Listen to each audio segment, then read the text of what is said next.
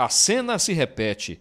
Na Santa Maria da Codipe, zona norte de Teresina, várias quadras ficaram sem energia após a queda de fios de alta tensão. Um deles atingiu este ônibus escolar. Já é a segunda vez que já está acontecendo de cair esses fios é, fio de eletricidade em cima do ônibus, então a gente pede providência porque a Eletrobras toma cuidado porque aqui é uma área de escola. As crianças tiveram que passar ali em cima do fio? Foi. Quando, as crianças, quando eu me deparei com o fio, eu tive que puxar o fio, né? Verifiquei se não tinha corrente, aí eu puxei o fio para eles poderem passar. O funcionário desta escola afirma que a situação não é nova. A rotina dos alunos teve que ser alterada. Se ficar, eles demoram, demoram vir aqui ajeitar, como isso aconteceu de manhã, mas nós tivemos que despachar os meninos agora, depois do recreio, tendo aquele cuidado para eles não estar tá saindo, não chegar aí, ó, fio até ó, desde de manhã, ó, isso aí foi de manhã, caiu, quebrou aí, quebrou lá do outro lado lá, Aí esse negócio aí, demora para vir e a gente sempre tá passando na televisão que tá acontecendo acidentes aí, acontecendo, então com essa demora aí. Mais uma vez, o rompimento dos cabos acontece na emenda dos fios. Por que essa, esse cabo se rompe e qual o nome desse equipamento? Pois é, isso aqui chama-se uma luva de emenda e acontece dela se romper com a devido à temperatura, né?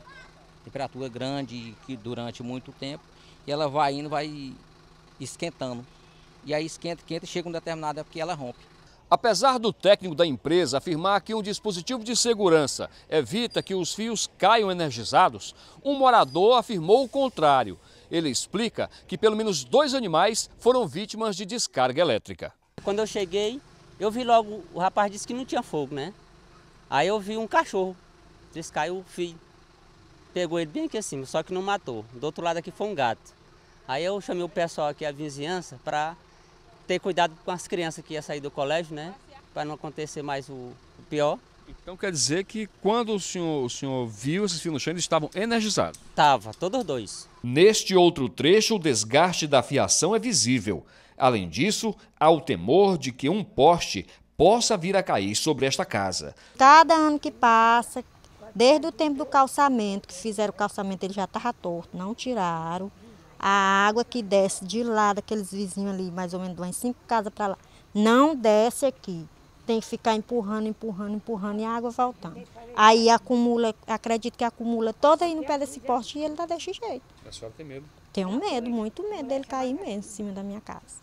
A morte do garoto Ernesto, de apenas 8 anos de idade, eletrocutado após a queda de um fio de alta tensão, continua repercutindo na capital há o temor de que o caso possa se repetir.